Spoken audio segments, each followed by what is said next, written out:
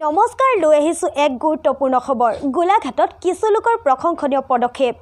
Corona মহামাৰীৰ কালত লাখ লাখ যুৱক যুৱতীয়ে নিজৰ কৰ্মসংস্থাপন হেৰুৱাবলৈ বাধ্য হৈছিল আৰু তাৰ ফলত সৃষ্টি হৈছিল নিবনুৱা সমস্যা। সেই নিবনুৱা সমস্যা ৰোধ কৰিবলৈ গোলাঘাটত কিছু লোকৰ এক প্ৰশংসনীয় পদক্ষেপ গ্ৰহণ কৰিছে। চাওঁ আহক আমাৰ এই বিশেষ প্ৰতিবেদন।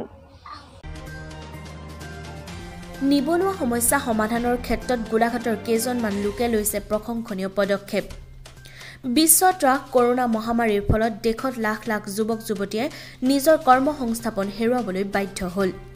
ফলত সমগ্ৰ দেশৰ লগতে অসমতো পুনৰ নিবনুৱা সমস্যাই এক ভয়াৱহ ৰূপ ধাৰণ কৰিছে। আৰু এই নিবনুৱা সমস্যাক কিছু পৰিমাণে সমাধান কৰিবলৈ গোলাঘাটৰ কেইবাগৰাকী ব্যক্তিয়ে লৈছে এক বিশেষ পদক্ষেপ। গোলাঘাটৰ নিবাসী তথা সমাজকৰ্মী মণ্টু শইকীয়াৰ নেতৃত্বত জিলাখনৰ কেইবাজনো শিক্ষিত অসমীয়া যুৱক যুৱতীক লগত লৈ বিশাল ভাৰত পৰিবাৰ নামেৰে এটা ব্যক্তিগত প্ৰতিষ্ঠানৰ জন্ম দিছে। যাৰ জৰিয়তে কৰোণা মহামাৰীৰ ফলত নিজৰ কৰ্মসংস্থাপন হেৰুওৱা তথা নিবনুৱা যুৱক যুৱতীসকলক কৰ্মসংস্থাপন দিবৰ বাবে বিভিন্ন আঁচনিৰ জৰিয়তে স্বাস্থ্য শিক্ষা আৰু কৃষি খণ্ডত কিছুমান বিশেষ পদক্ষেপ গ্ৰহণ কৰিছে। আৰু এই পদক্ষেপৰ দ্বাৰা বহু নিবনুৱা যুৱক যুৱতীয়ে নিজৰ কৰ্মসংস্থাপন লাভ কৰিব বুলি জানিবলৈ দিয়ে। প্ৰথম পদক্ষেপ হিচাপে ৰাজ্যৰ পঞ্চাছ লাখ পৰিয়ালক হেল্থ কাৰ্ড বিতৰণ কৰাৰ পদক্ষেপ গ্ৰহণ কৰিছে আৰু এই হেল্থ কাৰ্ডৰ দ্বাৰা ৰাজ্যৰ প্ৰতিখন জিলাৰ ব্যক্তিগত চিকিৎসালয় আৰু ফাৰ্মাচীসমূহত নিৰ্দিষ্ট কৰি দিয়া পাঁচৰ পৰা পঁচিছ শতাংশ ৰেহাই মূল্যত চিকিৎসা সেৱা লাভ কৰিবলৈ সক্ষম হ'ব।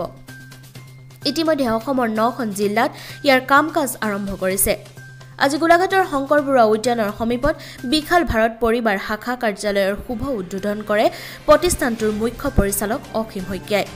আৰু গোলাঘাটৰ কেইবাগৰাকী সাংবাদিকক এই হেল্থ কাৰ্ড বিতৰণ কৰে। নতুনকৈ জন্মগ্ৰহণ কৰিছে। কি লক্ষ্য উদ্দেশ্যৰে এই অনুষ্ঠানটো জন্মগ্ৰহণ কৰিছে মূল কি? হয়।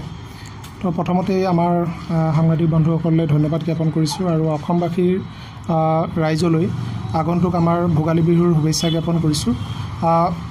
দুহেজাৰ বিছ চনটো আমি যিটো পাৰ কৰি আহিলোঁ সেই বিছ চনত সকলো মানুহেই এটা জৰা জৰ্জৰ পৰিৱেশ পাই গৈছিলে যিটো অৱস্থাত আপোনালোকে গম পাই চাগে। সকলোৱে আহ, কৰ্মসংস্থাপন হেৰুৱাব লগা হৈছিলে আৰু বহুত দিশত তেওঁলোকে জুৰুলা হৈ পৰিছিলে যাৰ কাৰণে আজি বিশাল ভাৰত পৰিবাৰৰ তৰফৰ পৰা আমি এটা প্ৰচেষ্টা কৰিছোঁ যাতে অসমবাসী ৰাইজে এই বিশাল ভাৰত পৰিবাৰৰ যোগেদি এটা সংস্থাপনৰ বাট পাব যিসকল আমাৰ কৰ্মহীন কৰ্মহীন ব্যক্তি আছে তেওঁলোকে আমাৰ বিশাল ভাৰত পৰিবাৰৰ তৰফৰ পৰা এটা কৰ্মসংস্থাপনৰ বাট পাব। লগতে জনসাধাৰণে আমাৰ এই বিশাল ভাৰত পৰিবাৰৰ লগত যোগদান কৰিলে তেওঁলোকে এটা সুন্দৰ সুবিধা স্বাস্থ্যৰ ক্ষেত্ৰ জগতখনত তেওঁলোকে লাভ কৰিবলৈ সক্ষম হ'ব। লগতে আমাৰ ইণ্ডাষ্ট্ৰীৰ ক্ষেত্ৰত আমি এগ্ৰিকালচাৰ আৰু লগতে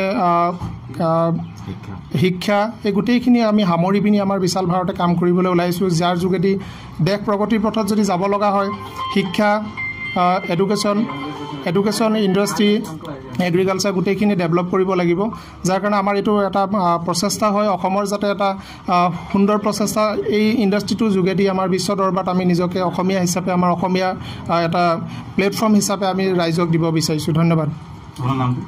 মোৰ নাম অসীমজ্যোতি শইকীয়া। আহ, মই বিশাল ভাৰত পৰিবাৰৰ ডাইৰেক্টৰ হিচাপে কাম কৰি আছোঁ।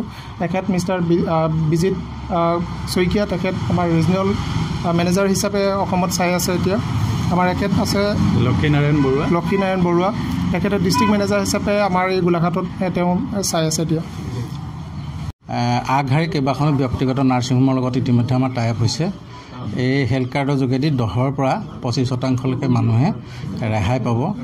আৰু ইতিমধ্যে আপোনাক কৈছে শিক্ষা এগ্ৰিকালচাৰ ইণ্ডাষ্ট্ৰী স্বাস্থ্য এইকেইটা খণ্ডৰ ওপৰত আমি অনাগত দিনত কাম কৰিম। ইয়াত সংকল্প হিচাপে লৈছোঁ যাতে আমাৰ মেইন থিমটো হৈছে অসমৰ নিবনুৱাসকলক এ, এটা বাট দেখুওৱা। আমি খুব দৃঢ় সংকল্পৰে আগবাঢ়িছোঁ। আমি অসমৰ পৰা গোটেই ভাৰতবৰ্ষলৈ ইয়াক এই অনুষ্ঠানটো এই সংস্থাটোক আগবঢ়াই নিয়াৰ বাবে যত্ন মানে প্ৰচেষ্টা হাতত লৈছোঁ। এইখিনি। গোলাঘাটৰ পৰা কেমেৰা পাৰ্চন ৰিপন পাটনায়কৰ সৈতে পূৰ্ণ বৰা আৱাৰী টাইমছ।